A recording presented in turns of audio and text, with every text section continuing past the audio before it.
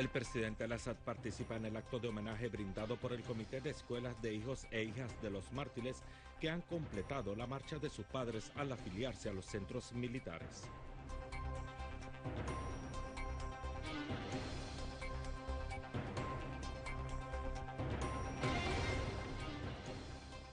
el aniversario de los mártires y el compromiso de fidelidad de los sirios sacrificada en defensa de la patria y de su independencia.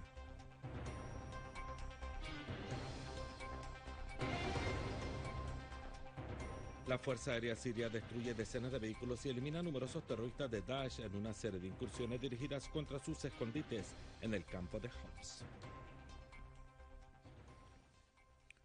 Buenas noches, amables televidentes y bienvenidos a nuestro boletín informativo. El presidente de la República participó en un acto de condecoración a los hijos de los mártires y aseguró que Siria no libera una sola batalla, sino decenas de batallas.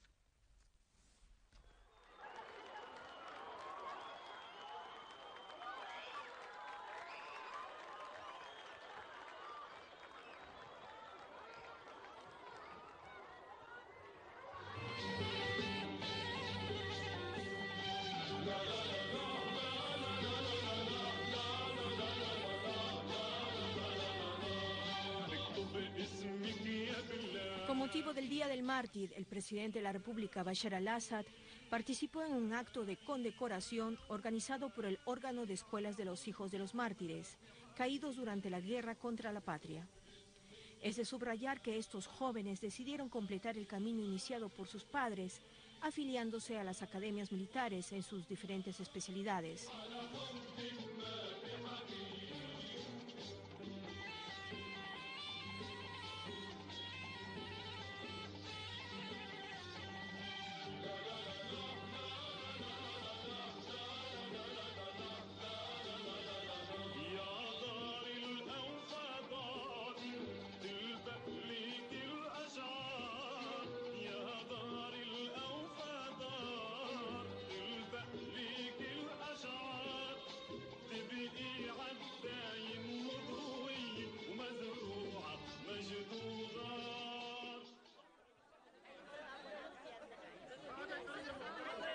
الأحبة الغاليين أبناء وبنات شهدائنا الأبرار والأبطال En su discurso pronunciado ante el público ahí reunido, el presidente Al-Assad afirmó, quise estar aquí presente con ustedes porque siento gran alegría compartiendo este momento con los hijos e hijas de los mártires.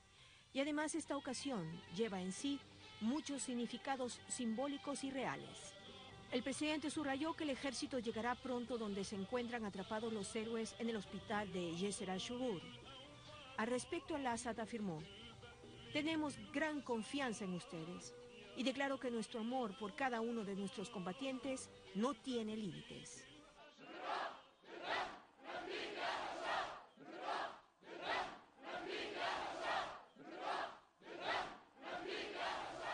Presidente al-Assad precisó que el 6 de mayo de 1915, el carnicero otomano Yamal Basha ejecutó a numerosos ciudadanos sirios y hoy en su lugar el carnicero Erdogan realiza la misma operación, indicando que morir por la patria constituye el mensaje más noble del ser humano y la persona idónea para aportar este mensaje es un miembro de la familia de un mártir.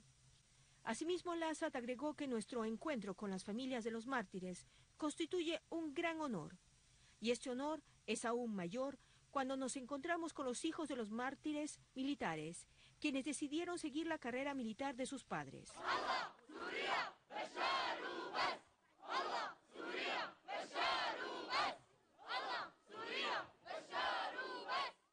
Por otro lado, manifestó, estamos librando una guerra, no es una batalla sino decenas de batallas juntas. Y durante la guerra todo puede cambiar, excepto nuestra fe en el combatiente y su fe en la inevitable victoria.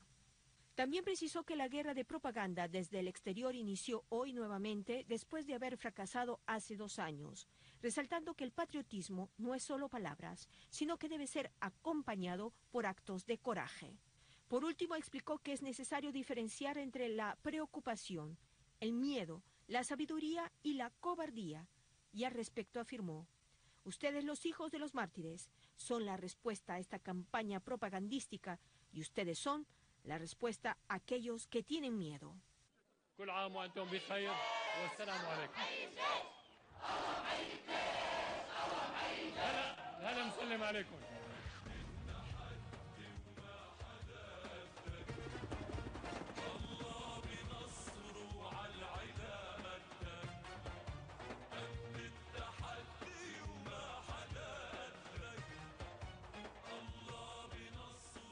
Cumpliendo con las directrices del comandante general de las Fuerzas Armadas, el presidente Bashar el-Assad, con motivo del aniversario de los mártires, el general Fahd Yassem al-Fresh, comandante general de las Fuerzas Armadas y ministro de Defensa, acompañado por una serie de comandantes generales, efectuó hoy una visita de campo a nuestros cuarteles de combate durante la cual se reunió con los combatientes en sus respectivos puestos militares. Los sirios han dado ejemplos inmortales con sus sacrificios para defender la santidad e independencia de la patria. El Día de los Mártires es una efeméride de carácter nacional que se celebra el 6 de mayo de cada año en la República Árabe Siria. La razón de elegir esta fecha como Día de los Mártires recuerda la condena a muerte que se llevó a cabo por las autoridades otomanas contra varios ciudadanos patrióticos sirios tanto en Beirut como en Damasco, el día 6 de mayo del año 1916. La ocupación otomana del mundo árabe duró cuatro siglos y durante los últimos años de esta ocupación, esta región fue testigo de grandes injusticias, lo cual conllevó a la creación de diversas organizaciones árabes secretas contra la ocupación y en resistencia a la injusticia. La mayoría de estas organizaciones fueron fundadas en las ciudades de Damasco y Beirut y otras surgieron afuera del mundo árabe. Jamal Basha fue nombrado comandante del ejército en Siria en el año 1915 e impuso su autoridad en el Levante. En este contexto ordenó el arresto de los dirigentes patrióticos e intelectuales nacionales y el 21 de agosto del año 1915 ejecutó a 11 activistas patrióticos de diferentes partes del país, Damasco, Baalbek, Beirut, Hama y Jenin. Asimismo, Jamal Basha inició una política de opresión y terrorismo y emitió una condena a muerte contra 21 líderes patrióticos nacionales.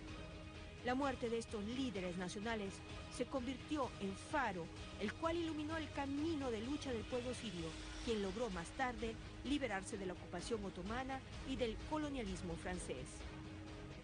Hoy, con la sangre de los mártires del ejército y de las Fuerzas Armadas, caídos durante las batallas contra las bandas terroristas, se escribirá la historia impregnada de gloria y de orgullo de Siria, tierra de amor y de paz.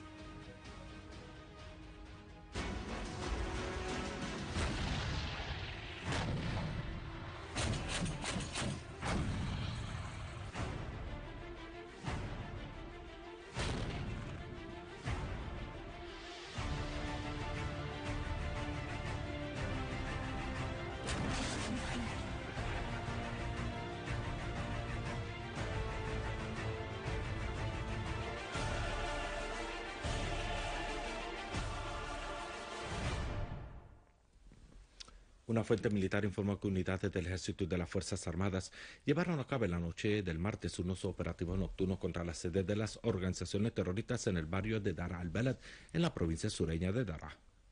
La fuente agregó que los operativos lograron sus objetivos en la destrucción de un depósito de armas y municiones y liquidar a los terroristas del Frente Nusra y el llamado Movimiento Islámico de Musanna, que reciben apoyo financiero y militar del régimen saudita wahhabita se despliegan en el barrio de Dar al-Balad organizaciones takfiristas. La mayoría de sus miembros se habían infiltrado desde el extranjero después de haber sido entrenados en campamentos administrados por el régimen jordano. Mientras tanto, las organizaciones terroristas admitieron en sus páginas de las redes sociales haber sufrido pérdidas significativas en armas y terroristas.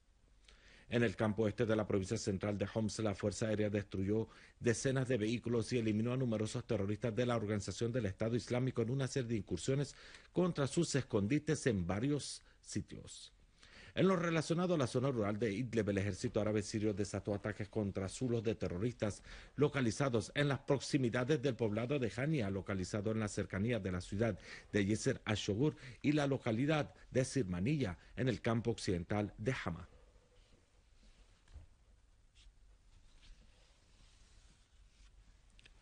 Tres personas perdieron la vida en ataques terroristas con granadas propulsadas por cohetes y morteros disparados por los terroristas de la Organización del Estado Islámico contra los barrios residenciales de la ciudad de Al-Hasake.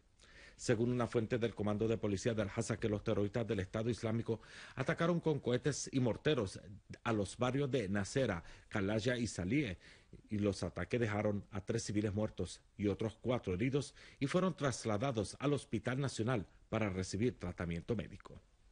La ciudad de Al-Hasaki es la capital provincial de Al-Hasaki, provincia siria ubicada en el extremo noreste de Siria.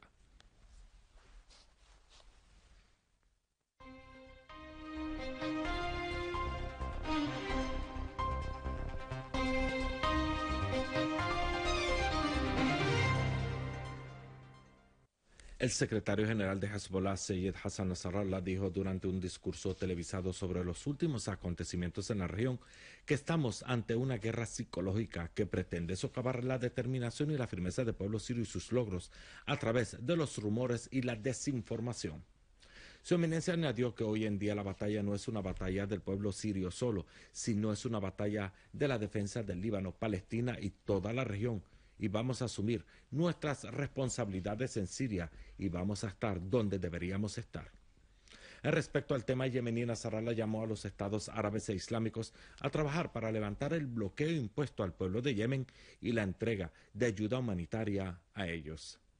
Estamos asistiendo a un proceso de engaño grande por Arabia Saudita sobre Yemen y hay un fracaso claro debido a la unidad del pueblo yemení, agregó Nasrallah.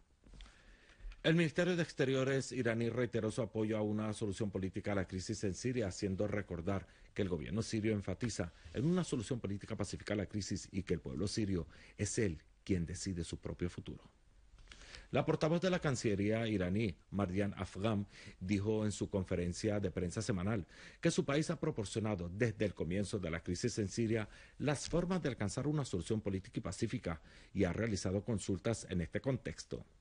También reveló que Teherán presentó su propuesta respecto a las consultas relativas al diálogo intersirio y que el enviado especial de la ONU a Siria, Stefan de Mistura, está dando seguimiento al tema.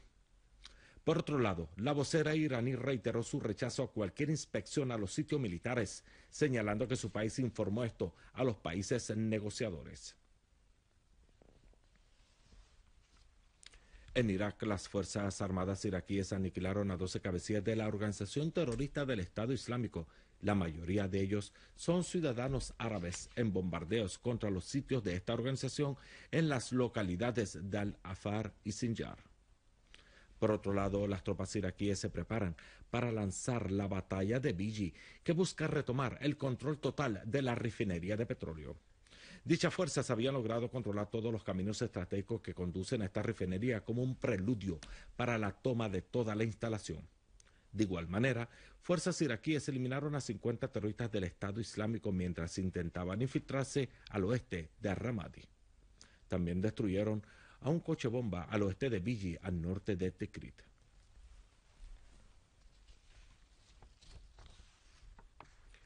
Aviones bélicos sauditas lanzaron más de 30 incursiones contra las provincias de Saada y Haya, localizadas al noroeste de Yemen, matando a unos 45 personas e hiriendo a un centenar de ellas. Las fuentes médicas en Saada afirmaron que la caída de muchas personas entre muertos y heridos a consecuencia de la explosión de las prohibidas bombas de racimo. Por otro lado, el Ministerio del Interior saudí anunció la muerte de tres personas y la herida de otras 37 por la caída de proyectiles contra la ciudad de Najran, situada en la frontera suroccidental de Arabia Saudita. Cabe mencionar que 22 agencias de ayudas humanitarias que obran en Yemen advirtieron de cancelar sus programas a menos de que las rutas de tierra, mar y aire se abran. Por último, organizaciones de las Naciones Unidas anunciaron la muerte de casi 1.244 personas, entre ellas 646 civiles y más de 5.000 heridos. En Palestina ocupada, dos niños resultaron heridos en la explosión de uno de los misiles que había lanzado el ocupante israelí contra la zona de El Surya, al este de la ciudad de Gaza. Esto coincidió con una redada llevada a cabo por las fuerzas israelíes en una serie de ciudades de Cisjordania, donde arrestaron a decenas de palestinos. Y en Hebrón, las fuerzas israelíes allanaron viviendas palestinas, lo cual llevó al estallido de enfrentamientos entre los jóvenes palestinos y las fuerzas de la ocupación.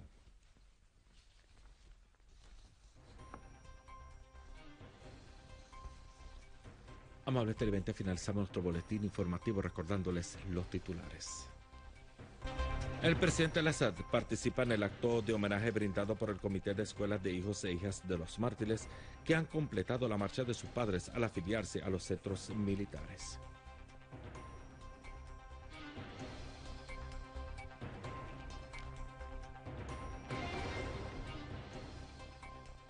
el aniversario de los mártires y el compromiso de fidelidad de los sirios sacrificados en defensa de la patria y de su independencia.